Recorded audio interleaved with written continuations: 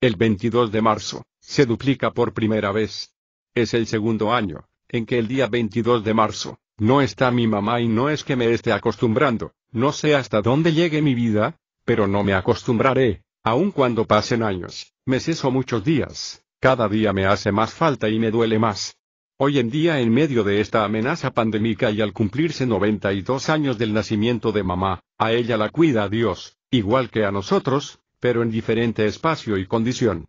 Y según la Biblia, por palabra de Dios, oro por mi salvación y la de mi casa, que es mi familia, por nuestro prójimo pastores y gobernantes, por mi país, por salud y por el pan de cada día, que representa la satisfacción de nuestras necesidades.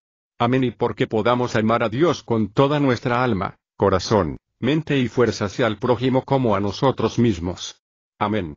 Escuchamos la desgracia de la muerte por esta peste del coronavirus, es muy duro para quien pierde un familiar, por eso refugiémonos en Dios.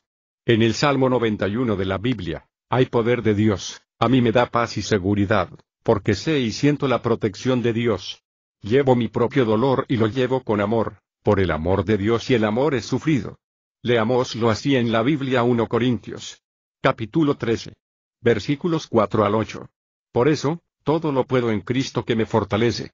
Capítulo 4, versículo 13. Filipenses. La Biblia.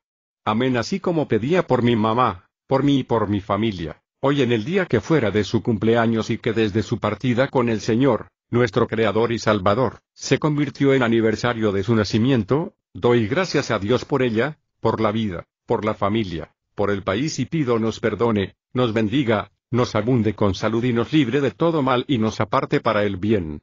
Amén José Gregorio Rojas Romero Hijo.